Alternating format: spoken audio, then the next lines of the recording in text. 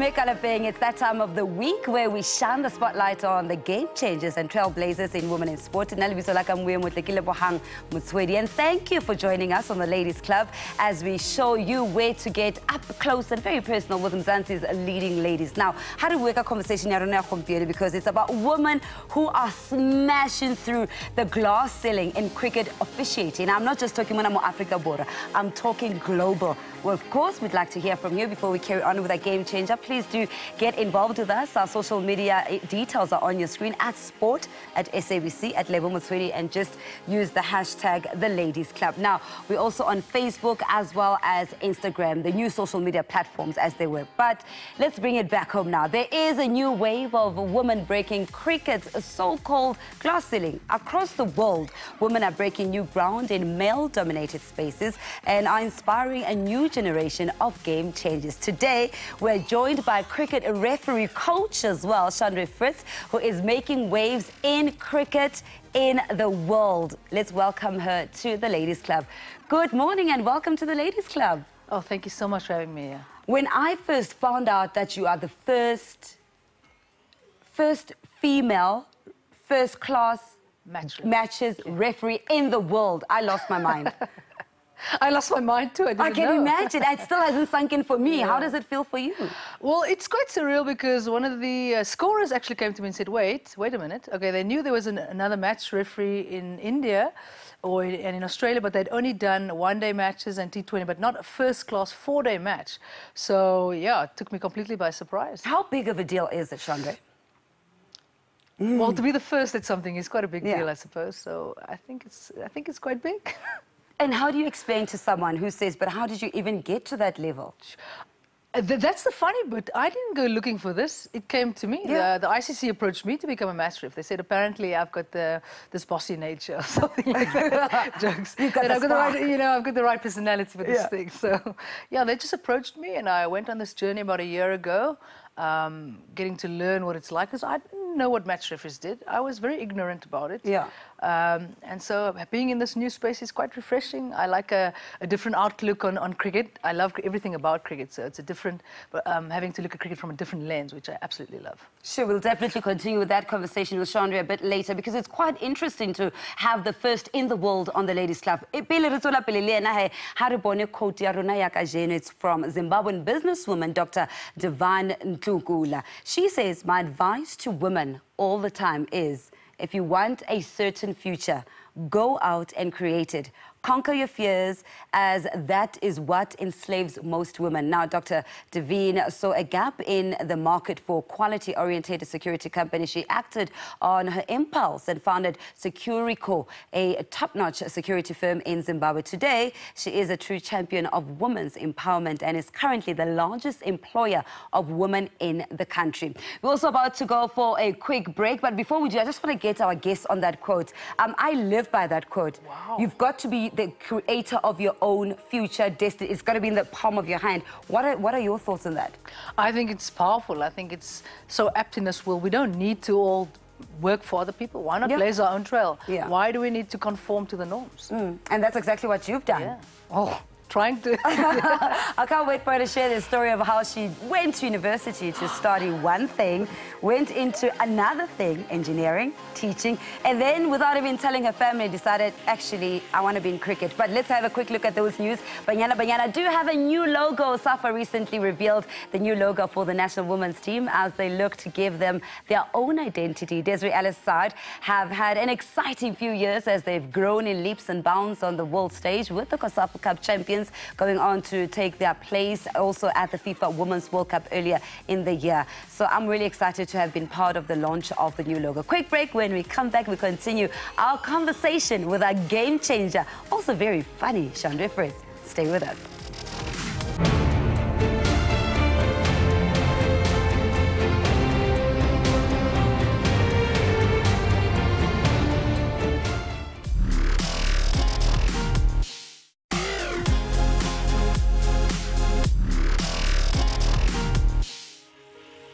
National Lotteries Commission is celebrating 20 years, 20 years of impact in changing and uplifting communities around the country. The NLC is committed to supporting sports and recreation to build a winning nation, funding 6.5 billion rands thus far to sports and recreation. National Lotteries Commission continues to be a catalyst for social upliftment. As we continue, we're joined in studio by the former national captain of South African women's cricketer of the year, Shandre Fritz, and she is our game changer today. In case you don't know her, this is her journey. It started way back when she was a player representing the Proteas in 85 white ball international matches between 2003 and 2014.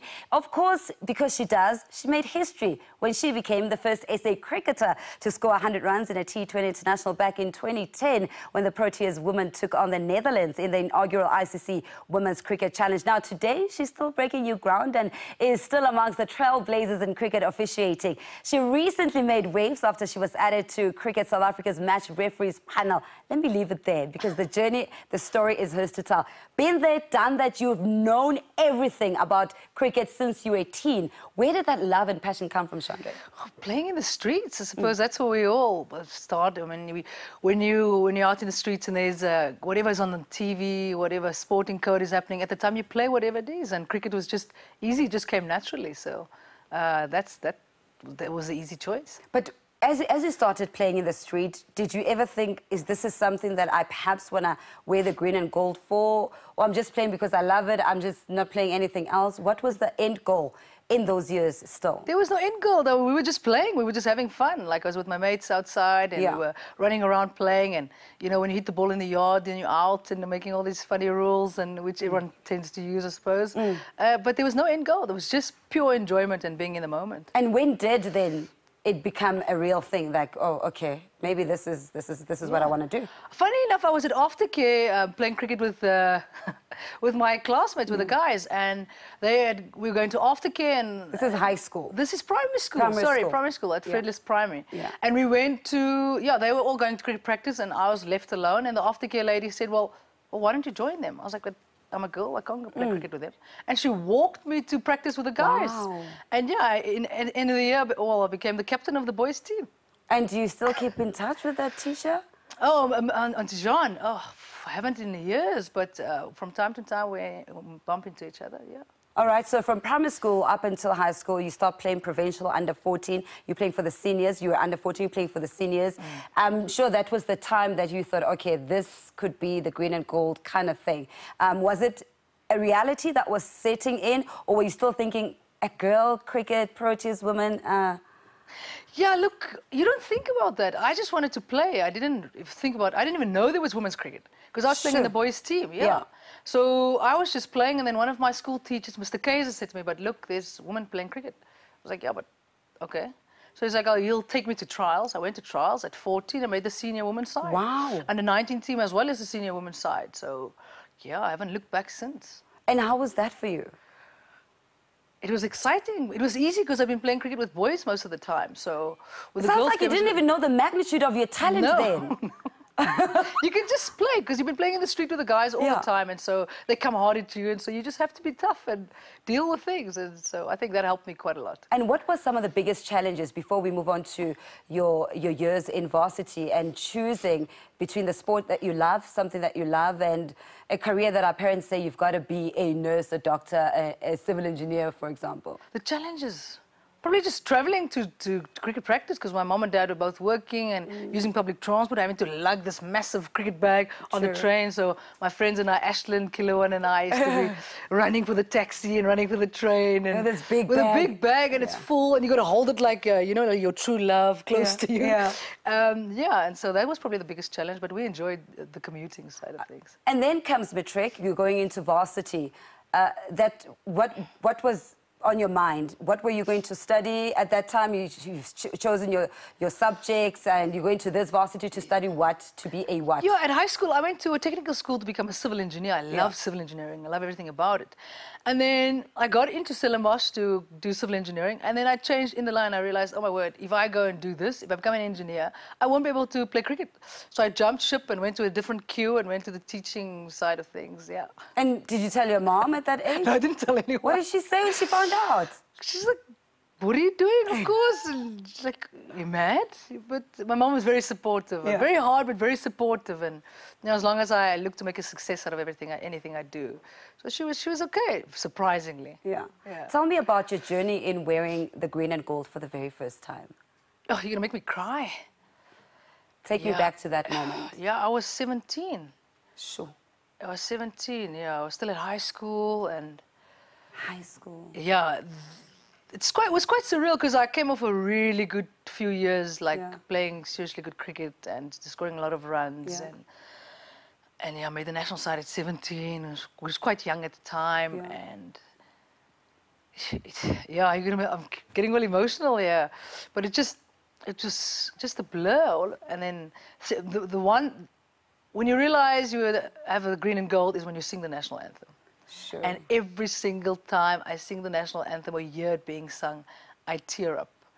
Like And sport makes me tear up. yeah, and, and why is that, that it made you tear up at 17 wearing the green and gold for the very first time? Oh, the pride representing your, you're representing your people. You're representing a legacy, a generation, your family, you know, your community. You're representing all of that. Mm. It's not just yourself and the green and gold. Two decades later, and you've been extraordinary. I'm trying. What is it that has set you apart from everybody else who's tried, come in, and kind of faded by the wayside? Um, the fear of being averaged. I think that's my biggest fear. I, I don't want to be average. We get this one beautiful life to live, and I want to be the best at what I do. And I know it sounds cocky sometimes to people, but we get one life. We've uh, God has given me a specific talent, and so I have to give thanks by uh, and honor my God and my family by the way I do things. Not talking about now, we'll talk about that after the break. What was the biggest highlight of your career? becoming the first South African to score a T2000. And some always say, oh, but it's against the Netherlands or whatever. I say, but then someone else would have done it before me then. It So- hasn't been done, it's still a Yeah. first. And it's not the first woman, the first, uh, not the, not the first woman, the first South African, the first cricketer to do it. So that, that is why, for me, my, the highlight of my career. And what, what, what would you like to take into the next generation when you speak to them and up and coming and they look at you like you are the epitome of greatness to them? Jeez, thank you. But it just blaze your own trail. There are no boundaries anymore in this life. You know, why must we conform? We are we are individuals, unique, each and every one of us. If we want to do great things, do it. We're off to a quick break. When we come back, we get to hear the other side of what exactly makes Shandre take. Stay with us.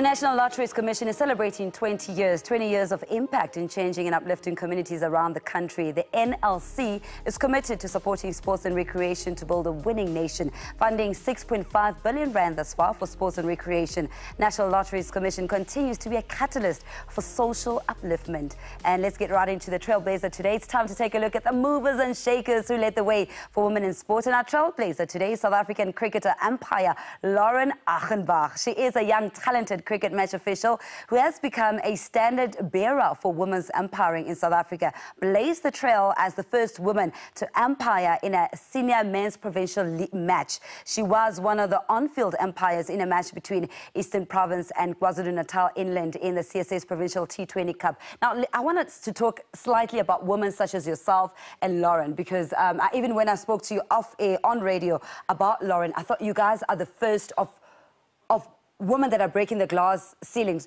You, obviously, the entire world, her still within South Africa. How important is it to have women such as Lauren, as young as she is, breaking those glass ceilings? Absolutely paramount. And Lauren's a fantastic um, young lady too. We are actually very close. Yeah. She and her, her mom actually bought me the coins to toss with. So they got me the big five Oh, coins. So oh my word, they're so amazing with me. And and we've got such a beautiful um, relationship because we, like we said, we always talk about the responsibility of what we are doing Mm. and trying to do it to the best of our ability. So. Lauren is amazing, and, and umpiring, you watching her umpire, you realize she is exceptional. And how big of a task is it to be the first in the world and also the first female on your shoulders, what kind of a responsibility does that weigh on you? It just keeps you on your toes to be better and to study harder and to make sure you know exactly what it is you need to do because you are leading, you're the first. So you need to mm. lead the right way. I mean, I believe there's only one way to do something and it's the right way. So that, that, that's what it is. It keeps you on your toes. All right, let's talk about now the transition from player to referee. Did you umpire before? Do you go from umpire to referee, or how does that transition work? So I'm not an umpire, I'm a match ref. So I'm the match ref is in charge of the whole event if there's a, an event. So um, I think they look for uh, years in cricket. Uh, I don't know how, quite how they do the selection, but I've played cricket for a long time with men and women, and I've coached men and women. And um, so the match referee thing is, I think it's more your understanding of the game, and I commentate from time to time. So I think it's a combination of all of those. I didn't umpire, player umped. Yeah, I'm not really yeah. good at umpiring. Yeah. But as a match official, I think they look for a certain personality, but certain traits, I suppose, and then also, again, your understanding of the game. And tell me about the other hat that you wear as a coach. Oh, I love coaching. Uh, I love my guys and girls that I coach. I always joke. I tell them I have 65 sons, and you see, my boys will always do this. Yeah, yeah. There's only one number. We only believe in one number. Oh, yeah, that's number one. Yeah, yeah, so we won the league three years in a row. But I love the coaching side of things. I love developing who are young you coaching talents. there? The univer- uh, UWC men. Uh-huh. Yeah, UWC. So I coach all the men there. So I'm I'm the coach. I, I am in charge of the second team, and I was in charge of the ladies. But I coach every single one. So I do one-on-one coaching with all of the cricketers at the club. And how important is that role to you? That role, wow, um, that is a special role. I learned so much about myself and about others. I, as a coach, you have to be a bad guy all the time, and I was willing to do that, and I knew why. And it, it's quite tough sometimes going home and knowing that people are actually sometimes upset with you. But Sure. once they understand, now that I've left, I get a lot of messages from the guys saying now they appreciate that they're. Um, that how tough I was on them, and they realize now why, and, and all of these things. So This is such an iconic moment for you. Um, when Yeah, we've got it. We've got everything. But seeing it, because I get goosebumps because of it's. This is at Wanderers. yes, Just being there, just looking last at this. week. Yeah. yeah, my guys. How does this make you feel? Very proud, and I need to lose a few kilos. Woman, we always have guests that look at themselves and say that. That's not true. Look at this. This is this Uh. You is a momentous momen- moment. but I had the greatest guys at the number one umpire in South Africa. Yeah. And the number five, Brad White, is number five, and uh, Shaun George is number one. And they were so amazing with me. Yeah. They did my first shadow match with me, and it was so amazing to have them for my first official game. We've such a great chemistry, and uh, they teach me so much all the time. I mean, Sure. It's and fantastic. You wake up every day, you do what you love. And as you said, you get paid to do it. grateful. I'm like, I don't know what I've done in this life to deserve this, but thank you, God. Yeah. yeah, I'm just grateful. Like, I'm in a phase of my life, in the best stage of my life where that I've ever been. I'm happy. Like, And just then- happy.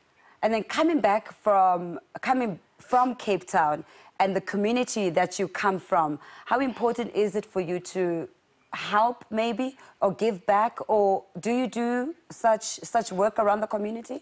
Well, with the cricket job, it's a it's an eight day eight day week job. Sure, not sure. so I haven't been No able weekends. to. No weekends. Yeah. But I did work for an NGO that, that does that type of work. So we go out and do coaching clinics and that sort of thing. But I make sure whenever I go back, I go back to the street I grew up in. My gran and my, all my aunts still live there. So I was, I was there last night. I was there, um, and I go and make sure I get I still spend time with the people that I, I used to play in the street with, and you know the kids see you, they know who you are, and to greet and still kick ball with them from time to time, and sometimes jump in the game Mm. because they all want to bowl you out when you arrive. they're like, "Come back, come you, come back! I Yeah, showed you yeah, how yeah, to do this. I showed you how to do that." Yeah, they just wanna, like- Yeah, so they just want to. Yeah, so it's nice. And what lights your fire?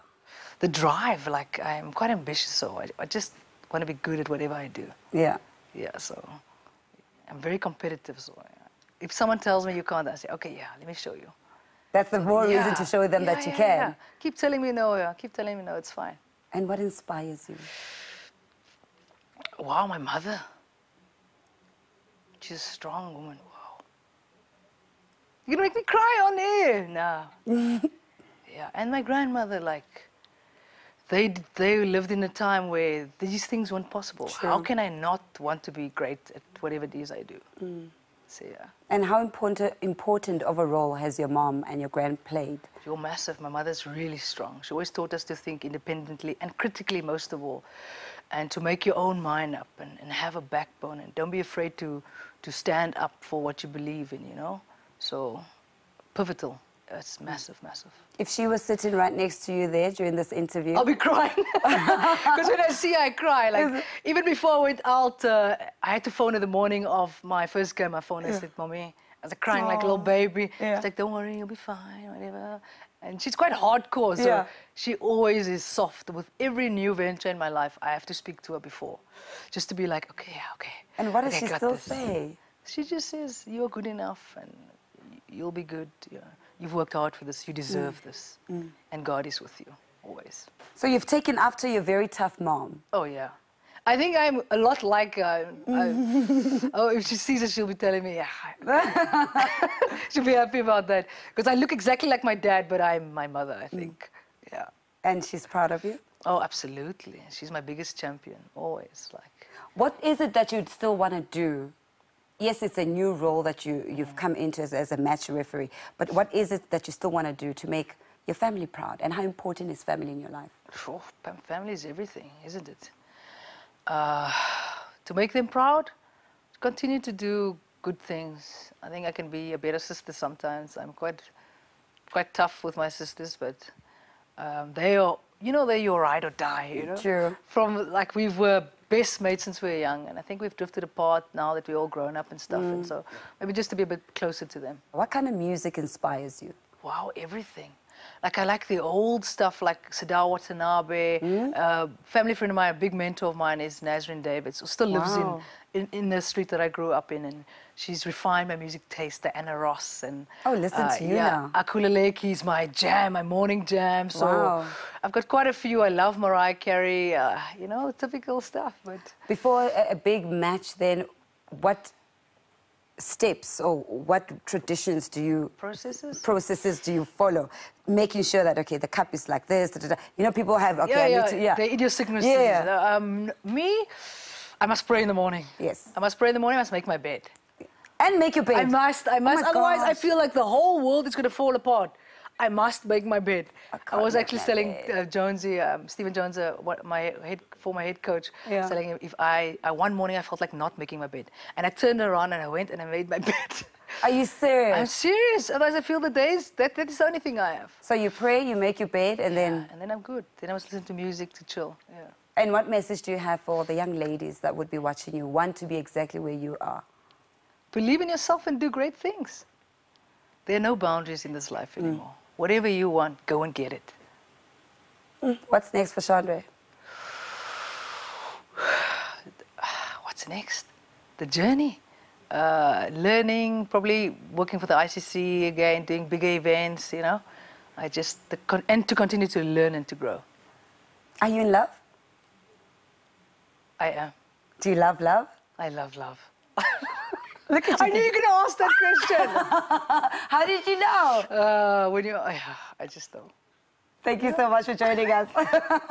You're naughty. I'm so glad I got it out of you. Look at you turning Oh, pink. And I found, at least I found a small little spark there by you. Uh, yeah. It's new, it's fresh. I can I'm see. happy. I'm happy. Yeah. You've got like bubbles inside and Oh, my mother's going to give me a hiding. Thank you so much for joining us with the Ladies Club. Thank it's so been much for having me. absolutely beautiful. been Wish you the pleasure. best of luck with everything that you touch. I, I really, really, I admire you. Thank you so much. And you're my woman crush, eh? You look like Nicki Minaj. Well, that's all we have time for this week. Thank you so much for spending it with us. You are welcome, of course, to send us your ideas of trailblazers or stories about women in sport that continue to inspire you right here on SABC. Next week, we'll see you same time, same place. Nelby Solaka, I am Lebo Motswedi. And remember that greatness is earned but never given. Goodbye.